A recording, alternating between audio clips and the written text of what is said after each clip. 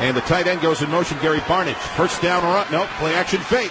Delhomme sets up, has time, fires it downfield. Intercepted by Jairus Byrd at the 45. Jairus Byrd does it again. His fourth interception in three games. They pick off Jake Delhomme. Lynch.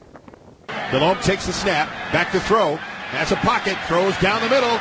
It is picked up by Jairus Byrd at the 40. Off the hands of Steve Smith, right into the waiting arms of who else? The rookie, Jairus Byrd.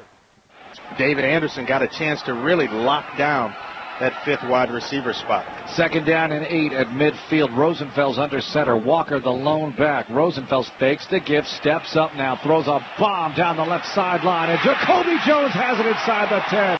Five in the secondary. Davis still taking the place of Smith at the corner.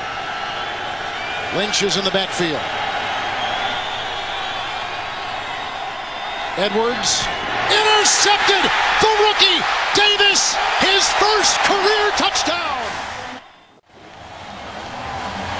Vontae Davis read this one like a book. Three-step drop, ball comes out. He breaks on the out route pass intended for Lee Evans. We told you the Dolphins were tightening up their coverage here in the first quarter where we have seen a white jersey next to a blue jersey. Every time Trent Edwards has thrown the ball, Davis just jumped that route